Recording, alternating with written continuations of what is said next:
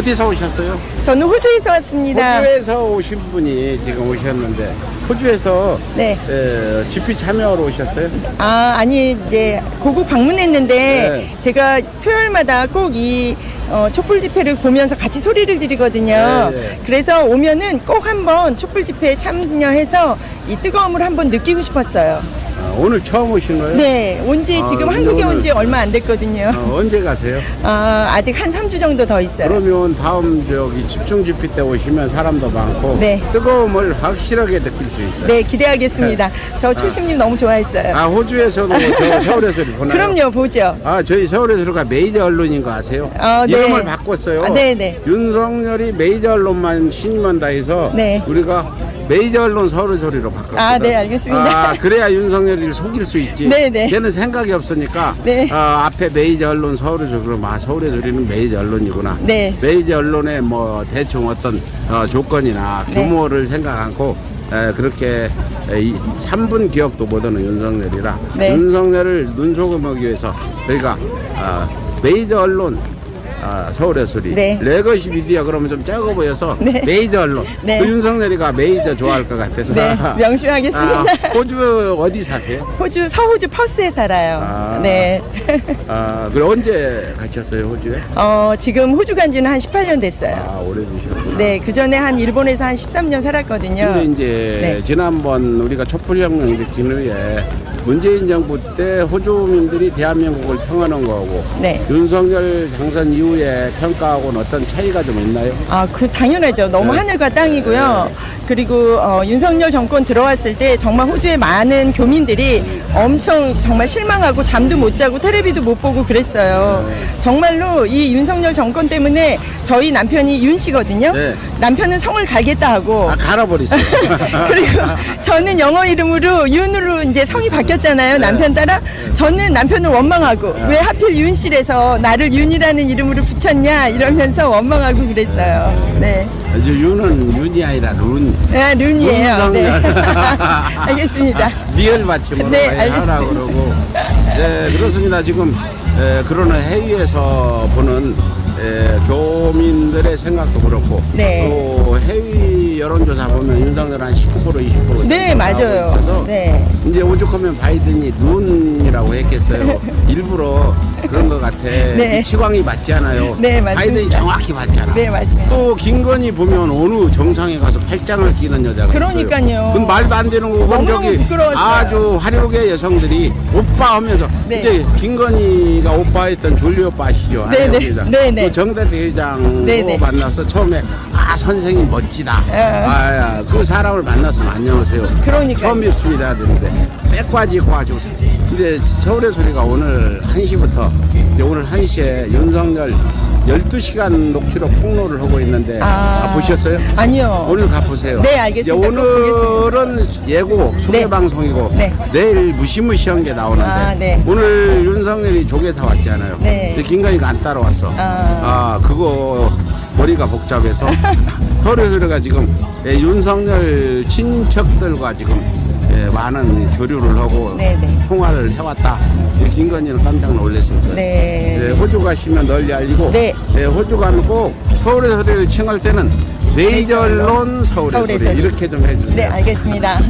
아 본인 소개 좀 할 수 있어요? 아, 네, 저는 호주 퍼스에 사는 최세영이라고 합니다. 네. 네. 예, 이거 영상으로 만들어서 올려도 되죠. 아, 네, 네, 상관없습니다. 그래서 예, 다시 영상이 좀 확실하게 되게 예, 윤석열 정권에 대해서 네. 어, 생각하고 계신 바를 가감없이 말씀해 주세요. 아, 네, 네. 가감 없이. 네.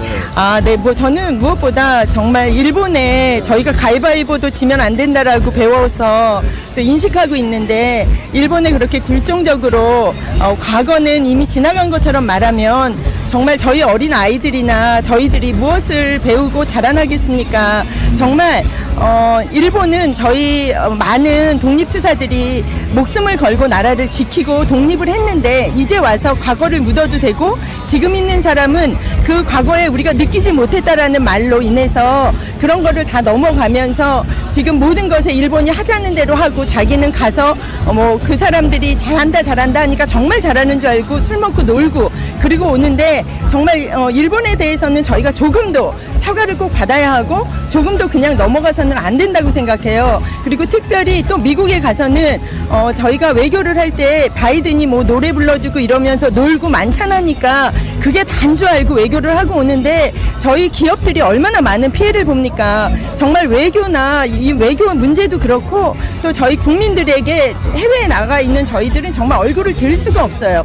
그 김건희 씨가 밖에 나가서 하는 행동이나 그 모든 것 그리고 또 어, 저희가 TV를 볼 때 항상 그 메인에 이 김건희 씨가 서 있고 윤석열 씨는 항상 이렇게 어, 그 외에 따라다니는 사람처럼 보이는 그런 것조차도 저희의 국격이 떨어지는 거를 볼수 있다고 생각합니다.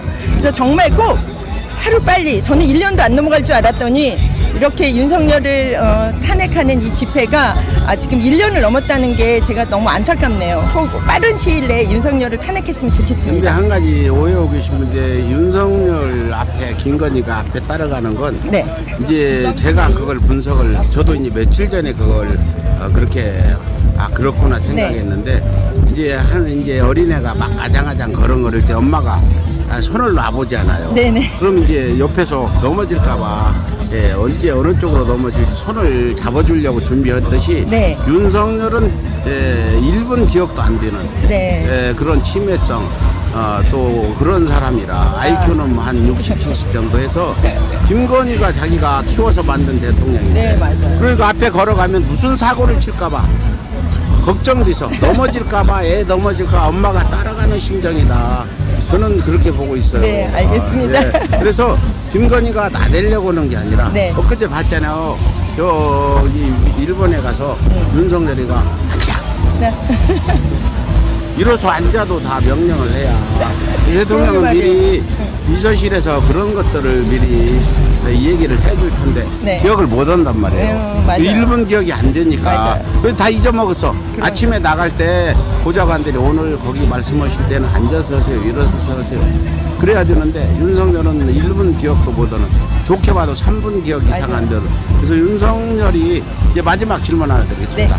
이제 윤석열은 이미 구멍난 냄비잖아요. 네. 예, 근데 그 구멍난 냄비를 고쳤을 여지가 있을까 아니면 그걸 어, 발로 밟아서 엿바꿔 먹어야 될지 이 둘 중에 하나만 골라요. 구멍, 어, 구멍 난 거는 다시 사용할 수 없어요. 엿바꿔 먹어야 될 것 같아요. 아, 사용할 수 없다. 네. 이미 아, 지금 구멍 난 냄비니까 네. 떼워서 쓸 수도 없는 아니. 정도로 심하게 구멍이 크다 이렇게. 네, 떼워도 한두 번 사용하면 다시 또 구멍이 아. 나니까 응, 떼워쓸 수 없어요. 근데 윤석열한테 혹시 호주에 가서 네. 뭔가 좀 어, 변화가 있을 거라는 기대한 분들한테는 절대 윤석열은 어, 차라리 김건희한테 변화를 좀 시켜달라고 하면 가는 거지만 윤석열한테는 요구를 하지 말라고 전해주세요. 둘 다 똑같습니다. 저희가 4년부터 지금 윤석열 취재를 해서 네. 그다 파악을 했잖아요. 네, 네, 맞아요. 그리고 지금 내일 1시에 에, 윤석열 마누라 김건희의 에, 그 대필 저기 네. 그 논문 네, 네, 네. 어, 그 굉장히 충격적인 내용이 나가니까 네. 한번 보시고 네, 호주 알겠습니다. 분들한테 연락 주세요. 네, 알겠습니다. 네, 감사합니다. 이상 호주에서 예, 오셔가지고 촛불 집회 참여하신 분 인터뷰를 해봤는데 예, 우리나라뿐 아니라 세계 어느 곳에 사시는 분들도 우리와 같은 이런 생각을 하고 있다. 이렇게 보시고 네, 고맙습니다. 감사합니다. 아니 제가 듣기로 일본에 13년 그리고 호주에 18년 사셨다고요. 네, 맞습니다. 아니 호주에서 유튜브를 그러면 처음부터 계속 보셨나요? 어, 네, 어, 촛불 집회 토요일마다 할 때마다 저는 집에서 같이 소리 지르고 네, 같이 응원했습니다. 네, 이래부터 함께 지켜본 촛불 시민이랍니다. 큰 박수 부탁드리겠습니다. 네, 그럼 혹시 얼마 만에 한국에 들어오신 건가요?